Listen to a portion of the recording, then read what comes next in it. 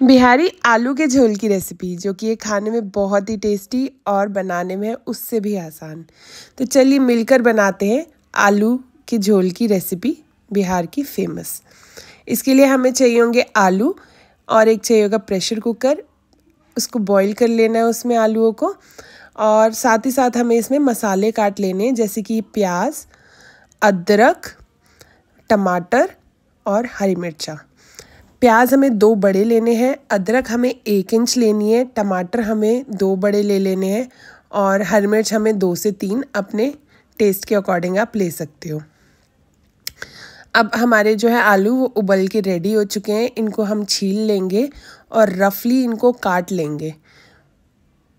तो अब एक ले लेनी है कढ़ाई। कढ़ाई में हम यूज़ करेंगे सरसों का तेल। सरसों का तेल ही बिहारी आलूओं को और भी अच्छा टेस्ट देगा।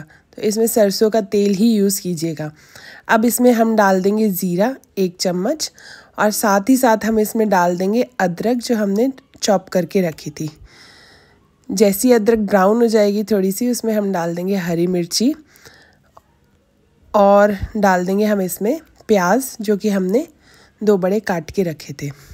अब इसको हम अच्छे से चला लेंगे और इसको थोड़ा सा गोल्डन ब्राउन होने का वेट करेंगे।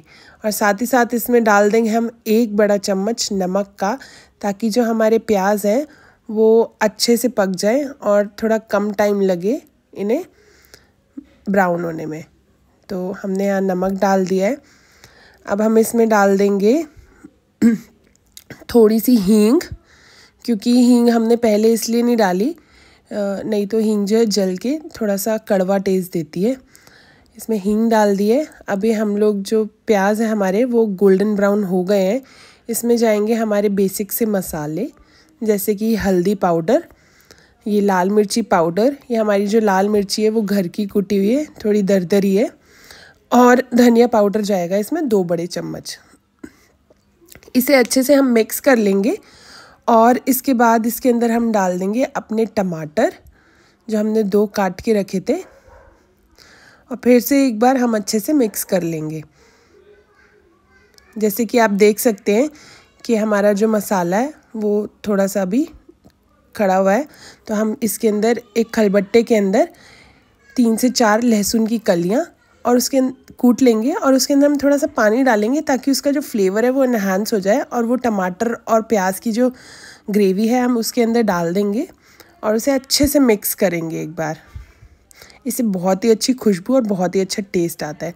अब जो हमने उबाल के आलू रखे थे, उन्हें हम कढ़ाई में ही, अगर मोटे मोटे हैं तो उन्हें कढ़ाई में ही हम कड़छी की हेल्प से उन्हें चॉप कर लेंगे।